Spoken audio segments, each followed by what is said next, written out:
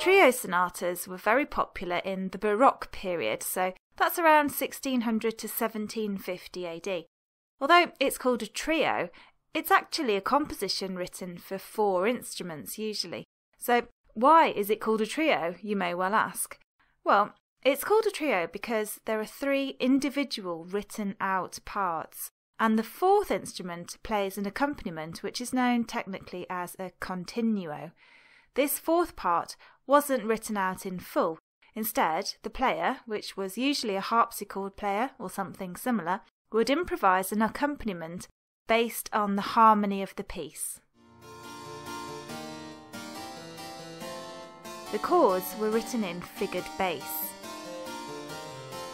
A modern day equivalent could be a lead sheet for a pop song where the tune and words are given, plus a bunch of chord symbols. A guitarist or piano player uses the chord symbols to make up an accompaniment as they go along.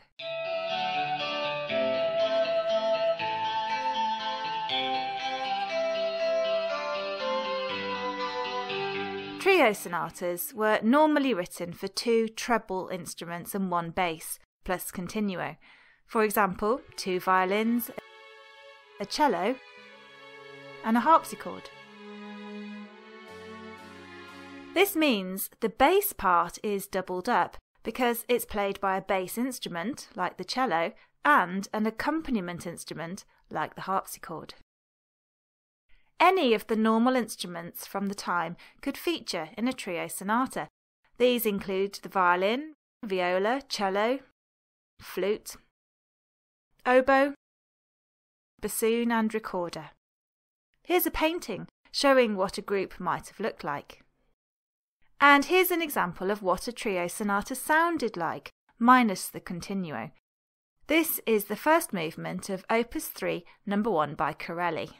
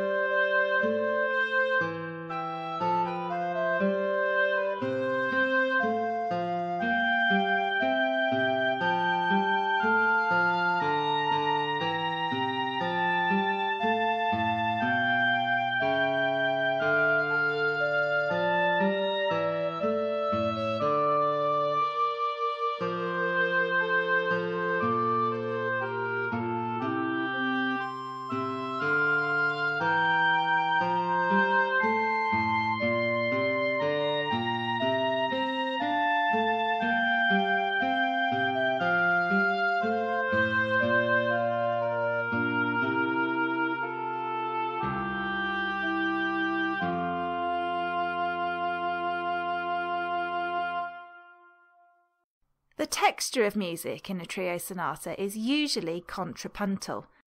That means that each instrument is equally important, and the music is made by weaving together separate melodies which have their own rhythms.